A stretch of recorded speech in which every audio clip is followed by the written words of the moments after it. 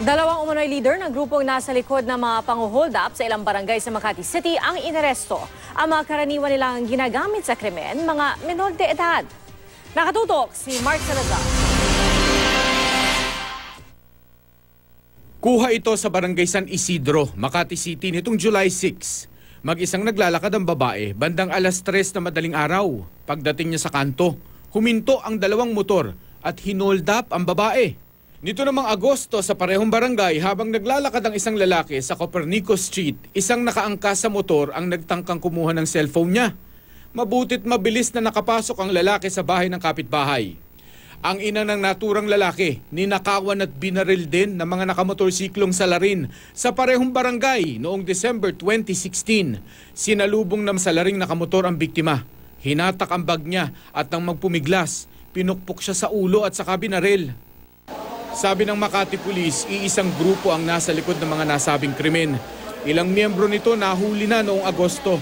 At madaling araw kahapon, nahuli rin sina Emson Kiran at Brian Gay Mojica na nagtangkang mambiktima sa isang babae sa barangay Pio del Pilar na katabilang ng barangay San Isidro. Nakunan sila ng dalawang baril at isang sachet ng pinaniniwala ang droga. Maituturing daw na leader ng grupo sina Kiran at Morica. May mga tinuturo pa silang mga kasamahan. Aside doon sa mga minors na ginagamit din nila, kasi alam nila pag sa minors medyo hindi medyo maluwag tayo. At Hindi natin ikinukulong at uh, itinaturn over lang natin. Ito yung mga unang ginagamit nila. Itinanggi naman ng mga suspect ang paratang. Yung mga sinasabi nila na mga pagnanakaw ng mga right eh, may kinalaman pa kayo doon.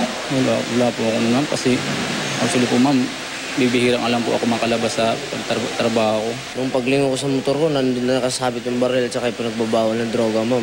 Pero ako, ma'am, inaamin ko po, ma'am, na gumagamit po ako. Pero hindi ko po inaamin na akin po yung baril, ma'am. Totoo, di ko marunong gumamit ng ganyang baril, ma'am. Eh. Pero nag-iba ang kanilang pahayag ng mga pulis na ang kausap. Kailan ang na-hold up nyo ng araw na yun? Plano pa lang po yun sir. Sa inyo ba yung baril na dalawa? Sa amin na po dalawa sir, pero sa binigay po Sa ng- amin, sa inyo Opo. nga. Oh. Patuloy ang investigasyon ng mga otoridad para mahuli ang iba pa nilang kasamahan. Mark Salazar, nakatutok 24 oras